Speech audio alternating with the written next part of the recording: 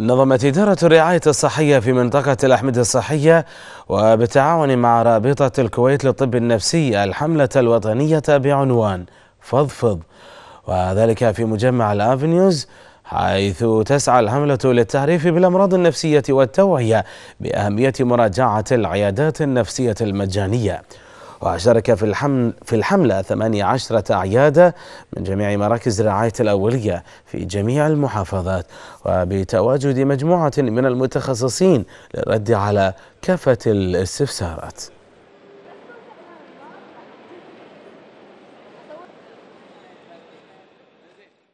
نوعي الناس على الرعاية الصحية النفسية اللي موجودة في في المستوصفات أساساً.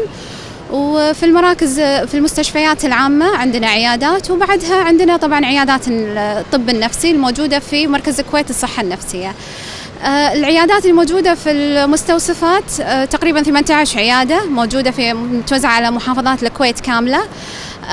عندنا اليوم الهدف من هذه الحملة أن نكسر الحاجز النفسي.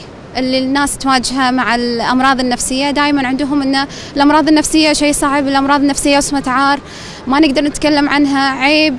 اليوم إحنا هدفنا من هالحملة كسر الحاجز النفسي إن ترى تكلموا يا جماعة المرض النفسي حاله حال أي مرض ثاني حاله حال الضغط السكر لا علاجاته موجودة. اعتقاد الناس أنه ممكن نعالجه بالروحانيات، أوكي الروحانيات والقرآن والرقية الشرعية موجودة وجزء من العلاج، لكن محتاجين أيضا العلاج الدوائي اللي راح تتكلم عنه هم اليوم إذا حاب الناس تستفسر وتتساءل عنه.